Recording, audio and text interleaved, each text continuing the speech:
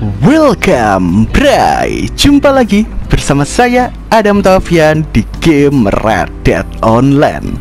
Di video kali ini, Bre, saya akan memberitahu kalian semua outfit satu set yang ada di dalam game ini bre.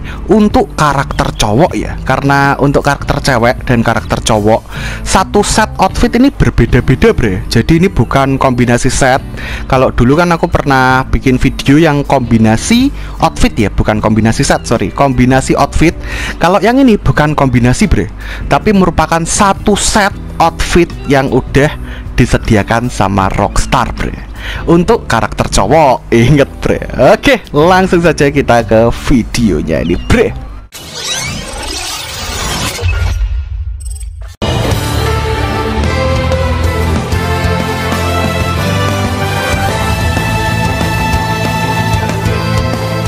Langsung saja kita akan masuk ke outfit ini bre. Nah kalau di video sebelumnya yang aku tunjukin kan yang kostum outfit ini bre. Outfit original karyanya Mas Gert van der Linde sendiri bre.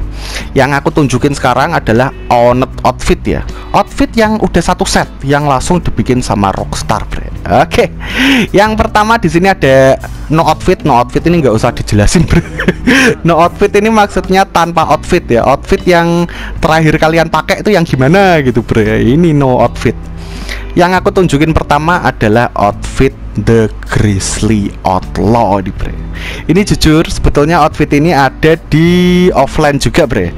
Kalau kalian beli yang deluxe edition kalau nggak salah. Deluxe edition RDR2 offline story mode kalian bisa unlock outfit yang satu ini bre. Tapi bagi kalian yang nggak mau beli deluxe nya kalian bisa pakai mode atau langsung mainin online nya aja bre. Langsung otomatis nggak otomatis dapat sih bre. Kalian harus beli dulu bre. Beli outfit yang bernama The Grizzly Outlaw. Ini si Arthur juga punya outfit yang satu ini bre.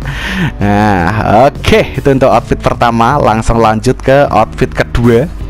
Di sini ada yang namanya The Clayton bre.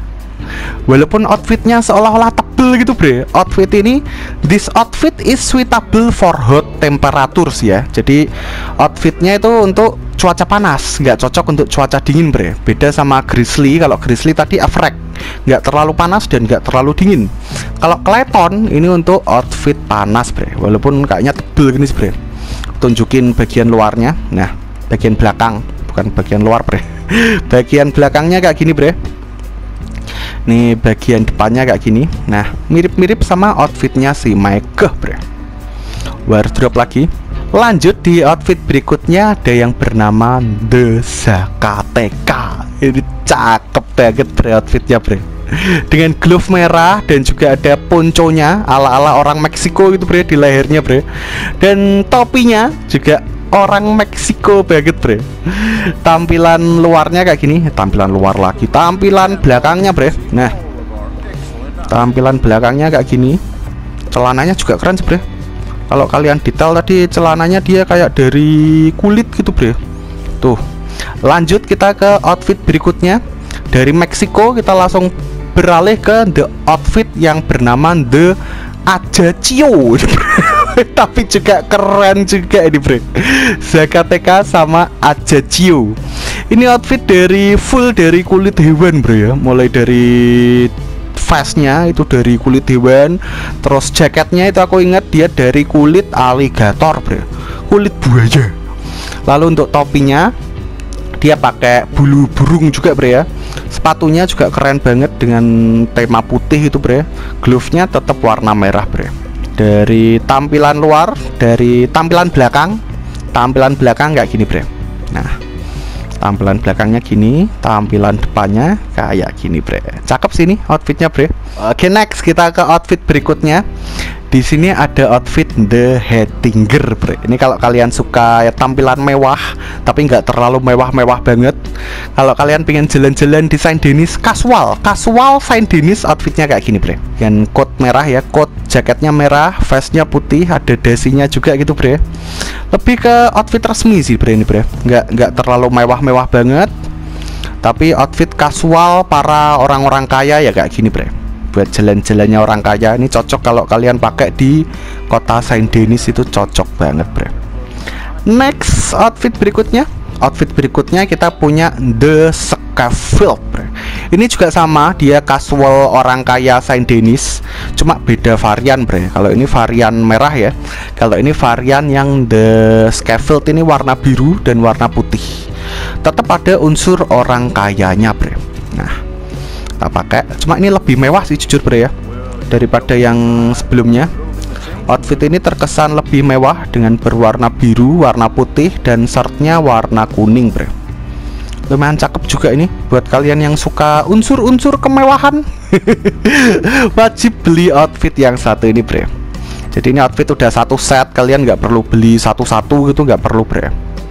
Lanjut di outfit berikutnya ada yang bernama The Merch Ingat ini this outfit is suitable for cold temperature. Jadi nggak cocok untuk cuaca panas bre. Sayang sekali bre ya. Jadi ini untuk outfit salju orang sultan bre. Jadi para-para sultan gitu yang pingin berlibur di Lake Isabella di salju-salju Kalian bisa pakai outfit yang satu ini bre. Cocok buat ngeglitch juga ini outfitnya bre. Kalau kalian mau ngeglitch di salju-salju biar keren pakai outfit yang satu ini bre. Lihat kalian bisa lihat lihat sendiri tuh shirtnya mewah banget bre. Ada kayak bukaannya di sini ya dadanya kebuka gini bre. Nah lebih terkesan eksklusif gitu bre. Cool banget outfit yang satu ini. Dingin banget bre. Dengan coatnya yang berwarna kuning ada bulu-bulunya gitu bre. Oke outfit berikutnya. Di sini ada the the chaux oke the the chaux ini adalah outfit jujur outfit paling mahal yang ada di General Store. Di General Store bre di toko baju ya. Outfit termahalnya yaitu ini The The Chaux karena ini satu-satunya outfit yang pakai gold bre. Dan kalian butuh level 100 untuk membuka outfit yang satu ini bre. Untuk cewek sama cowok uh, warnanya sama tapi desainnya beda bre. Sama-sama membutuhkan gold dan membutuhkan level 100 bre. Untuk outfit The Dechaux ini. Outfit termahal di General Store. Dan asli ini memang mewah banget bro. Udah bisa dinobatkan ini baju outfit sultan dari para sultan. Kayak outfit yang sempat aku review kemarin ya yang dari Moonshine itu bre tapi kalau Moonshine tadi berwarna biru outfit Moonshine itu kalau ini berwarna merah bre the Dechaux ini bre nah kalian kalau pakai ini sih udah fix bre udah fix sultan banget nih sultan dari para sultan. Dan ingat kalian membutuhkan level 100 ya untuk membuka outfit yang satu ini bro next kita ke outfit berikutnya. Di sini nah di sini udah bukan outfit dari General Store bre. Outfit selanjutnya nih bre. Outfit selanjutnya bisa kalian dapatkan di Madam Nasar bre outfit pertama yaitu ada The Zapatero bre yang main RDR offline pasti kalian ngerti outfit yang satu ini punyanya siapa bre ya betul. Outfitnya si Javier Escuela bre dengan kesan Meksikan banget ya sama kayak outfit yang ini The Zakateka nah tapi kalau ini pure murni outfitnya si uh, Javier Escuela bre bisa kalian dapatkan di Madam Nazar ya. Lagi hujan juga nih. Nah jadi di Madam Nasar kalian bisa beli ini pakai cash tapi tetap mahal bre hitungannya bre. Seribu cash itu ya lumayan sih bre. Seharga kuda bre. Outfit yang satu ini bre. Oke. Okay. Next outfit berikutnya ada The Dead Ham. Ini temennya si Javier bre. Yaitu si Bill bre Bill Williamson. Di outfit kalau yang Javier tadi suitable for hot Kalau ini suitable for Everett bre. Outfitnya si Bill Williamson. Tapi karakter kalian harus gendut sih Kalau mau cocok pakai outfit ini bre. Nah kalau karakter kalian kurus kayak Mas gini kurang cocok bre outfitnya bre karakter kalian gendut pakai outfit ini cocok banget bre. Mirip kayak Bill Williamson. Ya coachnya keren sih. Coachnya keren walaupun baju dan baju dan celananya tadi menggembel bre terus terang bre. Tapi coachnya keren. Next outfit berikutnya. Ya tentu saja bre. Outfitnya Mas John Marno John Marston bre. Tapi outfit ini outfit original di RDR 1 bre ya bukan yang versi RDR 2 nah jadi ini outfitnya John Marston di RDR 1 bre. Dengan vest yang kancingnya itu bawahnya terbuka gitu bre. Nah bawahnya terbuka. Dan shirtnya shirtnya juga nggak putih-putih banget tapi lebih ke abu-abu bule abu-abu kusem gitu bre. Dan yang paling khas adalah topinya bre. Outfitnya si John Marston. Oke ini pernah aku review ya dulu ya waktu outfit Arthur itu dan terakhir tentu saja outfit dari karakter utama kita yang paling ikonik bre. Outfit yang bernama The Haraway. Outfitnya Mas Arthur Morgan bre. Jadi itu dia untuk keseluruhan outfit ya. Outfit yang udah satu set yang udah dibikinin sama Rockstar bre. Dan terakhir kita ditutup sama outfitnya karakter utama kita MC utama kita main karakter yaitu Arthur Morgan yang bernama The Haraway. Ini pernah aku review detail di videoku salah satu videoku ya bisa kalian cek di playlist RDR2 aku bre.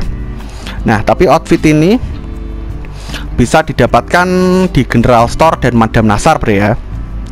Untuk outfit-outfit dari roll nah ini beda lagi bre. Kalian harus nyelesain misi-misi bre. Misi-misi yang ada di di RDR2 di roll RDR2 semakin tinggi out level kalian semakin tinggi roll level kalian outfitnya bisa semakin banyak bre. Otomatis juga perlu kalian beli dulu bre.